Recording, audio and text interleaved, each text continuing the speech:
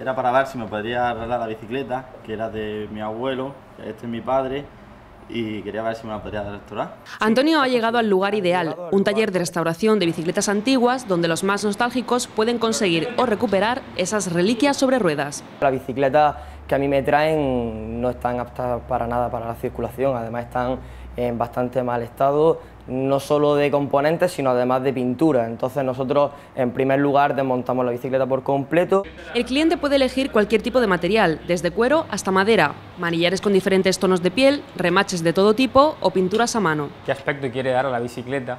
Si, quiere mantener un aspecto original o un aspecto actualizado. ¿eh? Se le busca los componentes, eh, en caso de que no concuerde se le, adapta eh, a través de temas mecánicos y, se actualiza. Así llegó esta bicicleta que data de 1910 y cómo creéis que ha quedado mi trabajo. El resultado salta a la vista, una bicicleta de principios del siglo XX como nueva. Mientras tanto Antonio también recibe su encargo. He podido conseguir lo que siempre he querido, que ha sido restaurar la bicicleta de mi abuelo del año 60 y a partir de ahora pues disfrutar de mi sueño que siempre ha sido restaurarla. Un sueño hecho realidad gracias al joven emprendedor Adrián, quien tiene claro que las bicicletas son para el verano, pero también para el resto de estaciones.